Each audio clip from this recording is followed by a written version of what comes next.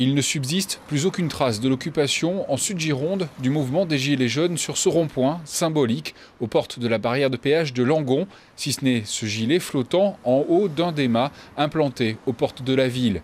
Pour autant, les Gilets jaunes langonnais n'entendent pas de la même oreille les incantations du ministère de l'Intérieur d'évacuer les ronds-points occupés.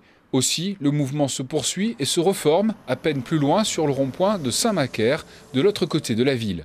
Toujours dans l'esprit pacifiste, hein. on n'est pas là pour dégrader, casser quoi que ce soit. Maintenant, on va quand même rester bien présent sur le rond-point, bien visible, et on mènera des opérations ou des marches. Euh, voilà, il y aura, encore d'autres opérations. C'est pas, pas parce qu'on nous a déplacés que derrière ils se sont débarrassés du problème.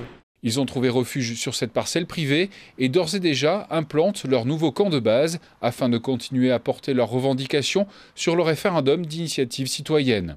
Ça nous permettrait de pouvoir euh, avoir le droit à la parole dans un pays qui se dit euh, de liberté, où effectivement aujourd'hui on n'a plus aucune liberté, si ce n'est de pouvoir payer.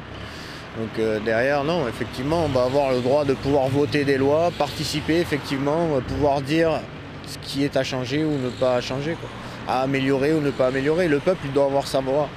Ailleurs en Gironde, les autres ronds-points évacués, comme à Gujan-Mestras, Sainte-Eulalie ou encore Saint-André de Cubzac, sont peu à peu récupérés par quelques gilets jaunes.